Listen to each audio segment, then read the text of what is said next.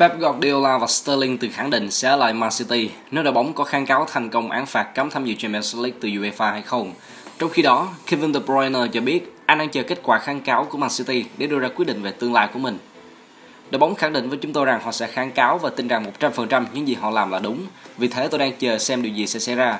Tôi tin vào đội bóng, một khi tuyên bố được đưa ra, tôi sẽ xem xét mọi thứ.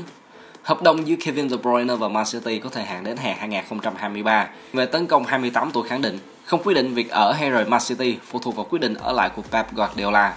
Hợp đồng của nhà cầm quân người Catalonia với Man City sẽ hết hạn vào hè 2021. Sau hơn một tháng chiến đấu với dịch Covid-19, Tây Ban Nha đã bắt đầu nới lỏng việc giãn cách xã hội khi dịch bệnh có dấu hiệu được kiểm soát. Các câu lạc bộ La Liga cũng được chính phủ xứ đấu bò bật đèn xanh trở lại tập luyện để chuẩn bị dần cho ngày La Liga tái khởi tranh dự kiến vào cuối tháng 6. Marca cho biết Real Madrid đã lên kế hoạch cho các cầu thủ trở lại sân tập Valdebebas vào ngày 11 tháng 5. Theo quy định về giãn cách xã hội Tây Ban Nha, trước mắt các cầu thủ sẽ phải tuân thủ việc di chuyển tới sân tập một mình cũng như tự tập riêng. Sân tập Valdebebas cũng đã có những chuẩn bị để đảm bảo những yêu cầu về mặt y tế.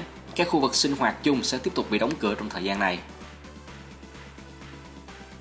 Alexis Sanchez không thấy hiện hình ảnh bùng nổ như trong màu áo Arsenal khi đội quân cho Man United.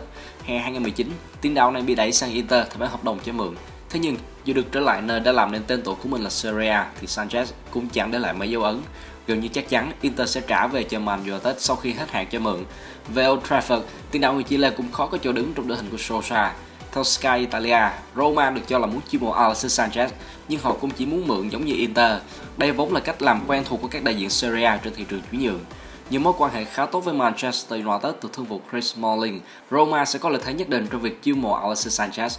Dù vậy, vấn đề thu nhập của cầu thủ người Chile có thể là trở ngại cho đội bóng thủ đô nước Ý. Để giảm áp lực tài chính và gây quỹ cho kỳ chuyển nhượng mùa hè, Barcelona sẽ phương án bán cầu thủ chính là khả thi nhất. Đội chủ sân Camp Nou có thể chấp nhận giảm giá và lắng nghe mọi lời đề nghị dành cho Luis Suarez, dù cho anh là tiền đạo quan trọng nhất của đội trong thời gian vừa qua.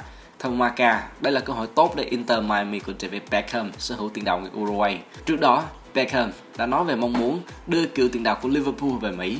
Còn bản thân Suarez cũng thừa nhận rằng anh sẽ đến MLS một ngày nào đó. Tiền đạo 33 tuổi phát biểu cách đây vài tháng. Bạn không bao giờ biết chuyện gì sẽ xảy ra. Tôi vẫn còn hợp đồng với Barca, nhưng trong tương lai, MLS chính là một nơi đến hấp dẫn. Hợp đồng giữa Luis Suarez và Barcelona còn hạn đến mùa hè năm sau. Tuy vậy, trong hợp đồng có một tùy chọn gia hạn một năm nếu Suarez ra sân từ 60% số trận của Barcelona mùa tới. Theo một số nguồn tin từ Anh, Liverpool, Manchester United và Chelsea đã muốn chiêu mộ Jadon Sancho ở kỳ chuyển nhượng hè tới. Trong một cuộc trò chuyện trên Instagram, hậu vệ Trent Alexander-Arnold đã được hỏi về khả năng Sancho gia nhập Liverpool. Trent tỏ ra rất hào hứng và ủng hộ ngôi sao của Dortmund về với nước Anh chơi bóng. Jaden cũng có theo dõi cuộc trò chuyện của Trent trên Instagram. Ngôi sao của Dortmund đã đáp lại lời khen của hậu vệ đồng hương bằng biểu tượng hình đôi mắt.